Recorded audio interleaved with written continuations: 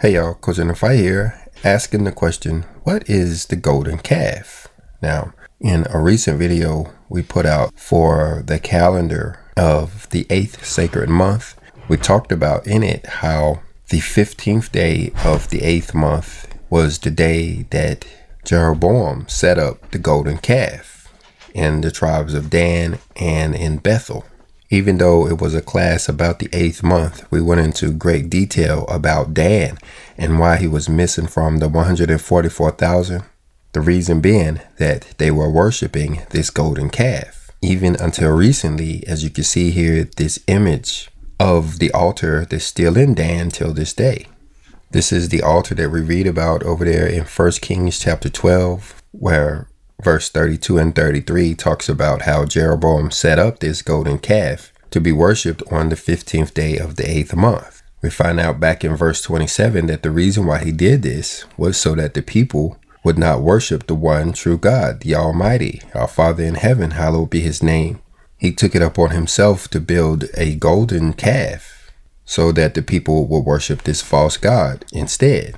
Now, of course, the first place we hear about the golden calf is back there in Exodus chapter 32, when Aaron set up a golden calf at the request of the people who had came out of Egypt with him and Moses. And we understand that to be a living parable. But what does that mean today? When we look at the third testament of the Bible in chapter 64, which is all about prophecies, looking particularly at the prophecy given to the United States, Verse 23 says, When will my seed put down roots in you? When will you topple your golden calf and your tower of Babel, so that you may build the true temple of the Lord? Implying that we are still yet today worshiping the golden calf. Now, I understand that they put a big statue of a bronze bull there in Wall Street. Is that the golden calf? Well, in this video, we're going to look at the scriptures coming not only from the third testament of the Bible, but coming from the great book of true life to get an understanding of what the golden calf is. If you're new to this channel, you may also be new to the third testament of the Bible, which is a compendium of the teachings of divine revelations contained in the 12 volumes of the book of true life. In other words, the book we know as the Third Testament of the Bible is a collection of different topics and passages from a greater work called the Book of True Life. I'll offer you a link to all 12 volumes down in the description of this video. But what I have here is a Word document where I've put all 12 volumes into one text file. And what we're going to do is look down through all 12 volumes at the 19 times that the word calf is used if they're related to the golden calf. I believe that's the only time that we're going to see the word calf is in relationship to the golden calf. But if I'm wrong, we'll probably just glance at it because what we're doing is looking for specifically the golden calf and what it says. Now, the first time we see it mentioned is in teaching 13 where in verse 38 says, Remind mankind that each time I have come to them, I have found them distracted by what is mundane, and that is why they have not felt my presence. So we're going to break some of this down. Like, for instance, how it's talking about each time that he has come to us. This is talking about the Shekinah glory that comes down every 490 years. It's actually coming up on us now, which is why a lot of people may be seeing the Merkaba or those lights in the sky. But anyway, it says, But how could they be able to wait for such a long time since you, my people, gave indication of your impatience when you left Egypt and could not wait just a few more days for the return of Moses? Referring back to what we read there in Exodus. And what this is saying is that we're doing the same thing now. Instead of waiting for our, our Messiah to return, we've gotten distracted yet once again. It says, When he descended from Mount Sinai carrying the tables of the law, he found the people devoted to an idolatrous worship. And I'm sure no one would be surprised that, that humanity is yet now devoted to an idolatrous worship. But like I said, the purpose of this video is to find out exactly what that idolatrous worship is. Verse 38 continues and says, In only a few moments of weakness, they had erased the name of the true God from their hearts to substitute him for a golden calf. Now, understanding back there with Aaron and Moses was a living parable. I believe it's safe to assume that we have done just this now, where humanity has substituted his name for the golden calf. The only question is, what is the golden calf?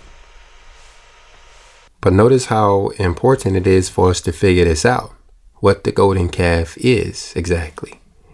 You see up there, it says that the worship of this golden calf is the reason why we can't feel his presence.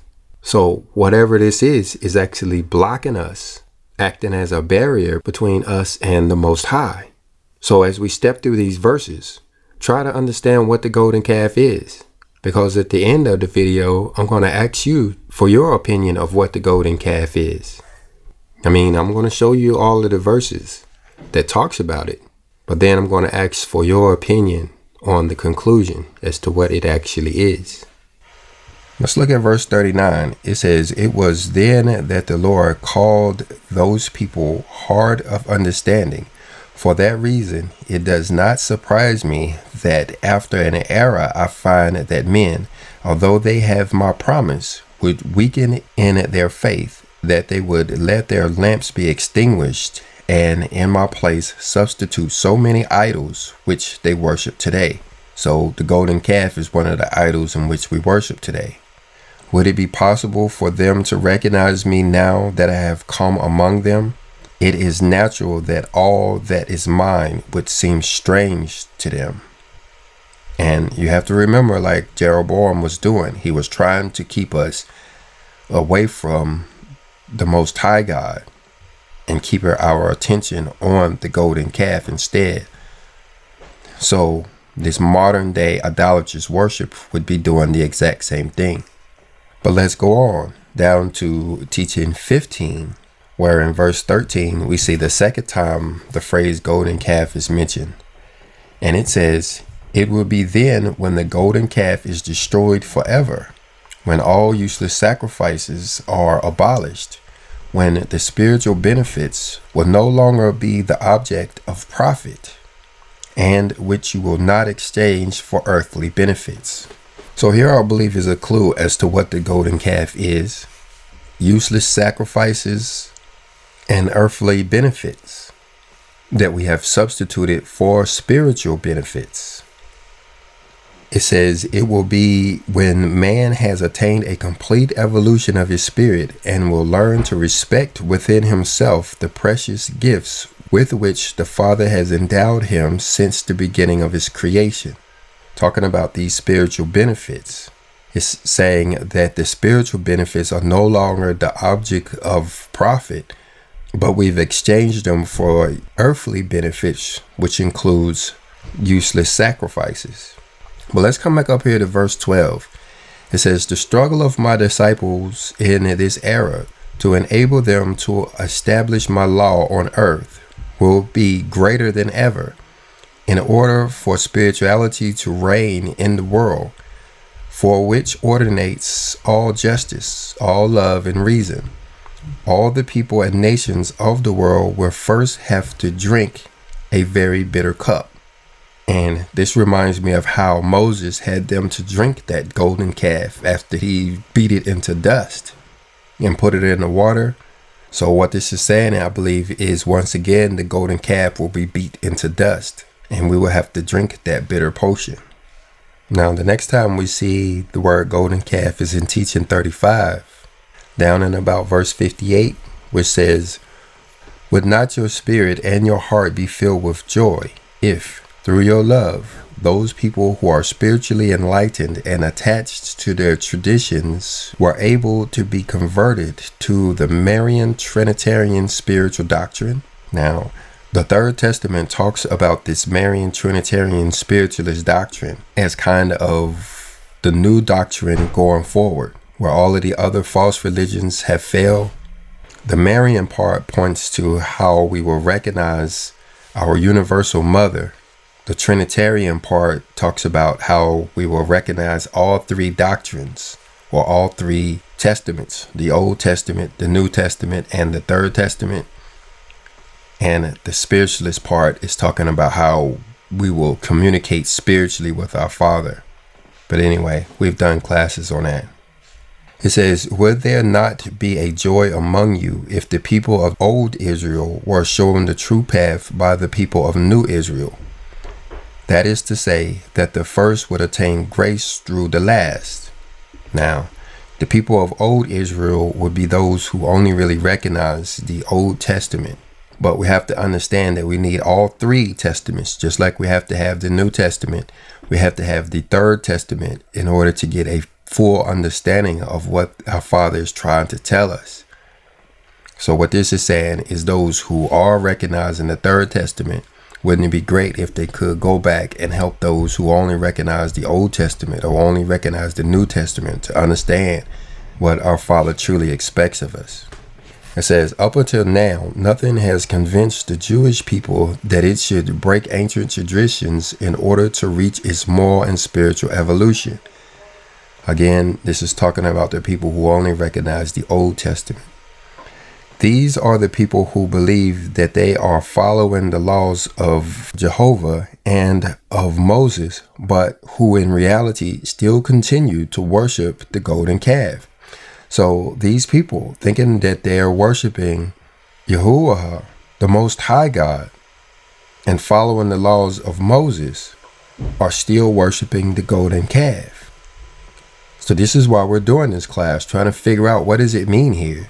How is this possible that there are people yet today who believe that they are following the laws and following the Most High God, our Creator, are still worshiping the golden calf?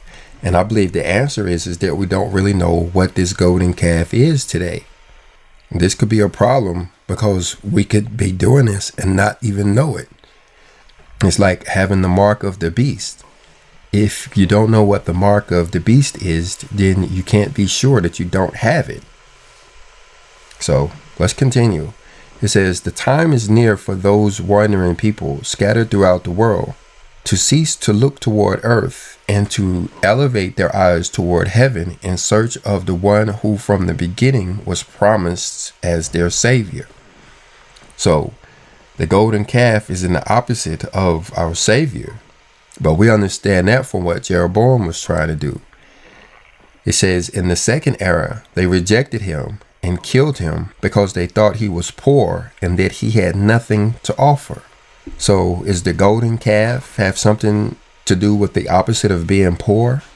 But before we leave this verse, notice how it's saying here the Jewish people and how they believe that they're following the laws of Moses, but are still worshiping the golden calf. By the time we get to the end of this video, we'll have a lot of ideas on what the golden calf is. But could this be talking about Jeroboam and how he got the people to worship on the wrong day? That's the problem with the Jewish calendar.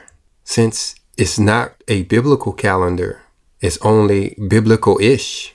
The Jewish holidays don't fall on the correct day, they're usually off by at least a day.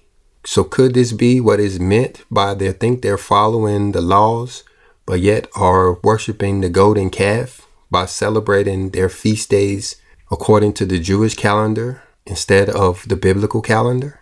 I'm hoping by pulling these verses out that we can figure this out together. So if you believe you know already, please add it down in the comment section. I'm going to go on because I don't quite see the smoking gun yet. And we're going to look down here in teaching 65, where verse 30 says, The trial draws near, and for that purpose I am preparing you. This is talking about the third temple that will be built on our hearts. He's saying that we're almost there yet the new covenant, as we hear about, it says, It is time for you to walk with a firm step without fear. You are Israel, and that name signifies strength. Understanding that Israel is not talking about bloodlines, but the people who obey the laws are those who are known as Israel. But anyway, it says, That blessed seed has always existed in your spirit, talking about how everybody has the calling, no matter what race you're in. The thing about it, true Israel will be those who are answer that call. It says, The true prayer confronts your spirit, purifies your blemishes, consoles you when you are sad, accompanies you in your orphanhood, and turns you away from temptations. Talking about true prayer here, and we've done many classes on this. Maybe I'll give you guys a link to a playlist on true prayer at the end of this video because prayer is not really taught in our churches. Turns out many of us really don't know how to do it. And that's the reason why our prayers go unanswered. If you don't get to check out that playlist, just remember the Lord's Prayer and say that prayer three times a day, just like it's written.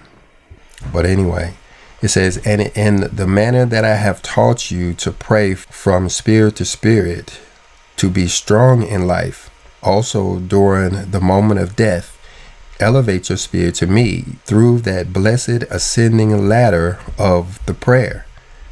Yeah, prayer is really important. But like I said, we're not getting it right. We're missing key elements. We're saying things like God and anyway, check out the video or like I said, just use the Lord's Prayer as a template. How distant mankind lives from the true prayer. How few are those who know how to practice it. Spiritually, mankind lives like the men of ancient times. They worship towards the golden calf. Their cult toward pagan gods still exists. So, now I believe this is another hint that the golden calf has something to do with pagan god worship.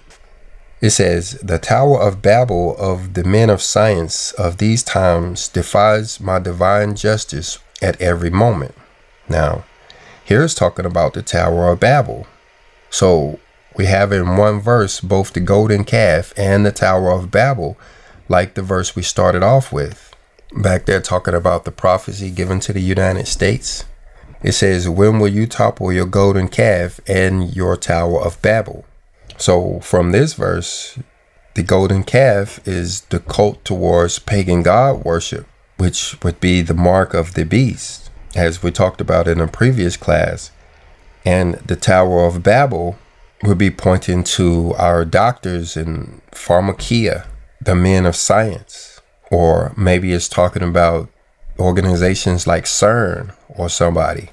The thing about the scientists of the world, and I went to school with them as I was studying engineering, so I know how it is firsthand how they're trying to remove our father from the science. Many of the experiments that they do are trying to disprove our Father altogether, acting like he had nothing to do with our creation or that he doesn't exist. Sounds like the Tower of Babel to me.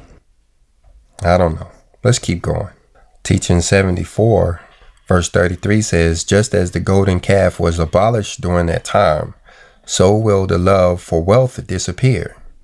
And the same way the money changers were cast out of the temple, so will now those be touched who, taking advantage of the weakness and ignorance, profit by the suffering of their fellow man. Now, so this is why I'm hesitant to believe that the golden calf simply boils down to pagan god worship and holidays and such, because it seems to apply that it has something to do with wealth and the pursuit of happiness or our desire to gain riches or something like that. But what this is talking about is the apocalypse here and how all of the wealth of the world is going to be destroyed in the global earthquake. We see that mentioned in verse 32, where it says, a light touch or a light gust of the elements. It seems to be saying that that gust of the elements is going to cause the love of wealth to disappear, casting out the money changers out of today's temple. And then notice right here it says, So will now those be touched who, taking advantage of the weakness and ignorance, profit by the suffering of their fellow man. This is talking about how people have to keep us ignorant in order to profit from us. Like, for instance, our doctors they can't really tell us how medicine works and how to heal our bodies, else they're going to lose us as patients. The lawyers, if we understand how the law works, we're not going to depend on them. And so they're going to lose income. That, goes for everybody. Even the mechanic doesn't want you to know how to fix the brakes or change the spark plugs in your car. The preacher man doesn't want you to read your Bible, else you're going to stop coming to church. It's like the whole world profits off of ignorance. But anyway, we're going to jump down here to teaching 122 looking at verse 57, which says, I come to rebuild my temple, a temple without walls or towers, because it is in the heart of men, talking about the third temple, and how we will be the stones that make up that temple. It says, The Tower of Babel still divides humanity, but its foundations will be destroyed in the hearts of men. And we know the Tower of Babel from above has something to do with science. It says the idolatry and religious fanaticism has also raised their high towers, but they are weak and will have to fall. It's just talking about how all of the walls of the churches will fall during the global earthquake. Truly, I tell you, my laws, both divine and human, are sacred, and they themselves will judge the world. And this is important to understand how it's saying the laws will judge the world. You know, we, whenever we're thinking about laws or hearing somebody talk about laws telling us that we shouldn't be obeying the laws, we, we should substitute the word instructions. The laws are the instructions. And so, you know, what they're saying is that we don't need the instructions for surviving the tribulation. Well, if we don't have the instructions for surviving, then you have no plans on surviving. That's that's what the laws are there for, to teach us how to survive. And anybody who rejects those laws or those instructions have no intention on doing so. But anyway, it says mankind does not believe to be idolatrous, and truly I tell you that it is still worshiping the golden calf. Then it goes on to talk about how I am spirit. I am the essence of light. Wake up and open your eyes. Look at me and listen to my voice. We saw this a little bit earlier where it was saying that we are still looking for material benefits and useless sacrifices.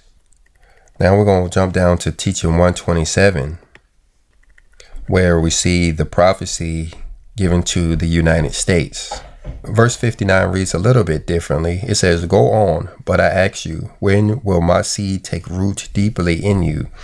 When will you collapse your golden calf and your tower of Babel to build my true temple? So, so far, we understand that it has something to do with pagan god worship, maybe has something to do with wealth, talking about the golden calf, and the Tower of Babel has something to do with the men of science, these both being interference or distractions from the third temple.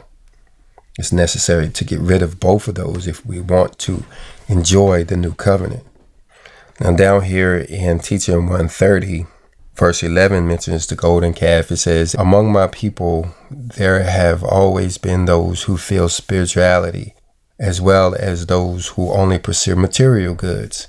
In the first era, there were times when some worshiped the golden calf, others wept in fear for Jehovah.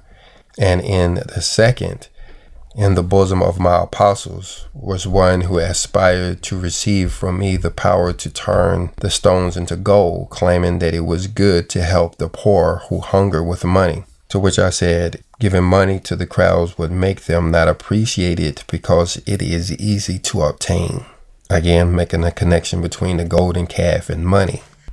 So, where is this book where one of the apostles wanted to be able to turn stones into gold? I don't remember reading that in any other text, so if you know about it, please tell us about it in the comment section. Surely that book would hold a lot of additional clues. But anyway, it's probably in the basement of the Vatican somewhere. Down here in verse 55, it's saying, Although you have received my law, you are still practicing idolatry. You are still worshiping the golden calf without realizing it. And this is like we talked about earlier, we just don't know what it is. We're getting some hints here but I think we are dying because of a lack of knowledge. Verse 24 says down here, Since the first era I have given you a spiritual shepherd to guide you. That shepherd has served as my forerunner and messenger prior to my arrival among the multitude. This is talking about Elijah and the comforting spirit. Says, Because you have ignored my teachings due to your spiritual ignorance, you are still worshiping the golden calf and other material things. So we learned in Malachi chapter 4 that we have to obey the law in order to have the indwelling of the Elijah spirit for that comforter to come among us. But how many of us don't obey the law? So we're in pursuit of material things as the replacement for the Elijah spirit. Again, making me believe that it has something to do with the acquisition of wealth. Now, the 11th time golden calf is mentioned, just talking about a topic which we cover in verse 55. The next time we see it mentioned is down here in verse 29. It says, The people of Israel are not yet gathered, because while some are in spirit, others still have flesh. While some are saved, others are on the brink of the abyss. Among these are those believing they love the Father, whom they adore is the golden calf. But the moment is approaching when these people find yourselves assembled and prepared. Again, talking about our ignorance of what the golden calf is. Verse 107 says, I'll bless those who turn from their mistakes to come down the path of spirituality. I bless those who renounce your idols and those who haven't danced around the golden calf leave their materiality and take up the cross of spirituality. This one is talking about pagan god worship, I believe, here, talking about holidays and how we're dancing around the golden calf. 51 says, A land of promise awaits you, but you are still distant from her. You go across the vast desert. You left behind the slavery of Pharaoh, and you have already received the law. However, you have not completely abandoned the idolatry, and without realizing it, you sometimes worship the golden calf. So this is putting the law in opposition of the golden calf. I guess this one can go both ways. It could be talking about material wealth acquisition, but it could also be talking about material God worship too. Verse 55 has two times that it mentions the golden calf. It says, My people, I ask you to remove the golden calf that you are still worshiping. Although men believe that he no longer practices idolatry nor paganism, he continues to worship the golden calf. So here's a direct connection saying idolatry and paganism is the golden calf which makes sense when you understand how our economies are based on holiday worship. That's why our presidents are so into the holidays.